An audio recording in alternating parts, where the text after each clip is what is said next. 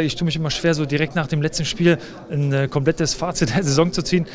Ich denke, für so ein Fazit muss man sich ein bisschen Zeit nehmen, ein bisschen Abstand gehen, aber es war schon, denke ich, ein bisschen sinnbildlich, ähm, dieses Spiel für die gesamte Saison, weil streckenweise gut, dann wieder gar nicht gut, wieder gar keinen richtigen Zugriff bekommen, ähm, ähm, teilweise gar, nicht, gar keine Spielkontrolle gehabt und Ingolstadt war an deutlich mehr gefährlichen Torsituationen beteiligt als wir. Und das ist dann doch sehr, sehr bitter und ähm, da muss man dann auch ehrlich sein, dass wir einfach unsere Saisonzielen ähm, nicht erreicht haben. Ähm, die ganze Saison über nie so richtig ähm, Fuß fassen konnten, auch wenn wir äh, eine Serie hatten, eine kleine Serie ähm, in der Hinrunde, aber trotzdem war das dann zu wenig ähm, aufgrund des versäumten Startes.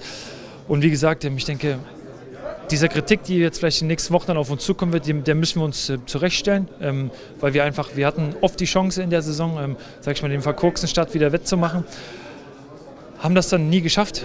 Und ähm, da muss man dann auch ganz klar und ehrlich sagen, dann stehen wir zurecht da, wo wir jetzt stehen. Und ähm, das ist sehr, sehr enttäuschend.